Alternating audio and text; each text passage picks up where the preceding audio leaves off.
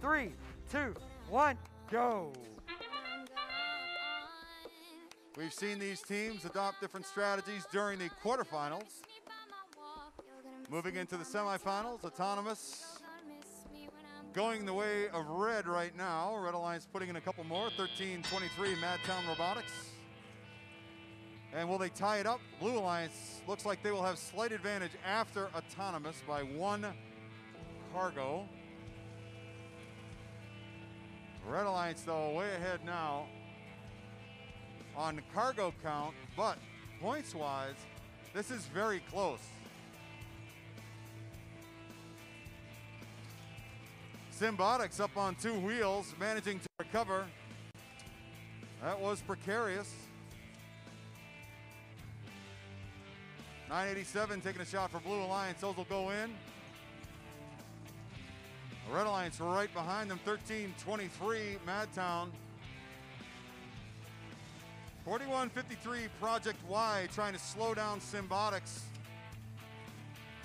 Managing to keep Simbotics away from an open area where they can shoot. Red Alliance pulling ahead, 74-56. Whoa, 604 goes over Quixilver. This looks like it was a result of a braking maneuver, but could have been a result of an impact with another robot. We will find out, and that could be consequential for the Blue Alliance. Blue Alliance now with an opportunity to close the gap. 41-53, assuming a defensive posture, working on Simbotics. 987 scoring for the Red Alliance. 11-23 putting in cargo. Madtown still shooting. Blue Alliance unable to capitalize on the loss of 604 on the field. Red Alliance still with a significant lead, and there goes Simbotics looking to try and finish it up, but 13-23 Madtown, so strong. Still within 10. Red Alliance closing it out or making it even a bigger gap. There goes 4907 up to the traversal rung.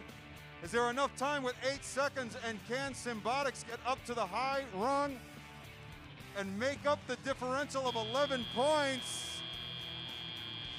And it looks like we will have two traversal climbs for the Red Alliance, two traversals separating the Red and the Blue Alliance here. Cargo making the difference, not enough Blue Alliance cargo with their hangar advantage to be able to overtake the Red Alliance.